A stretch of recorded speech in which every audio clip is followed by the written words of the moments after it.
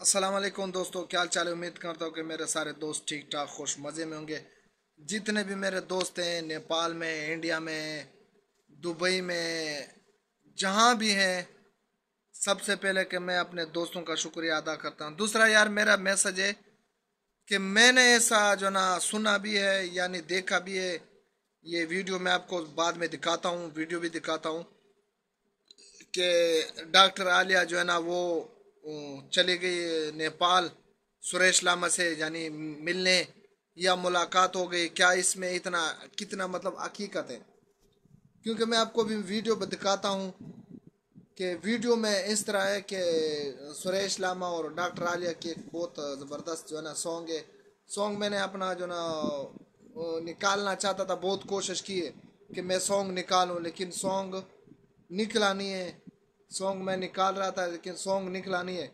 मैं आपको video start करके प्ले करके दिखाऊँगा कि डॉक्टर आलिया और सुरेश लामा जो है ना, वो सुरेश लामा जो है ना सॉन्ग गा रहा है, या सॉन्ग सुना रहा है। डॉक्टर आलिया भी वहाँ पे सेट पे खड़ी है। क्या इसमें कितना हकीकत है? मैंने थम मेल इसलिए लगाया था कि सुरेश लामा और डॉक्टर आलिया का, मैंने थम मेल के ऊपर तस्वीर इसीलिए लगाया था कि मैंने कहा कि यार मैं अपने दोस्तों से पूछूँ क्या ये हकीकत है या नहीं? पहले आप ज़रा सॉन्ग देखें।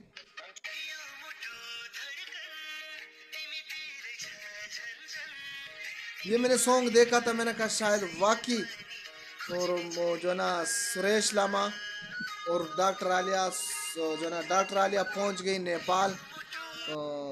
तो मैंने इस वीडियो बनाई, मैंने कहा वो चेक करता हूँ कि वाकई सुरे डॉक्टर आलिया जो ना, पहुँच गई नेपाल या नहीं।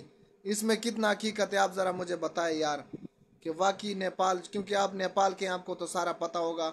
आप टिकटॉक चलाते हो, आपको सारी हकीकत का पता होगा। आप मुझे बताइए कि वाकई सुरेश लामा जो ना, डॉक्टर आलिया सुरेश लामा के पास गई है या नहीं गई?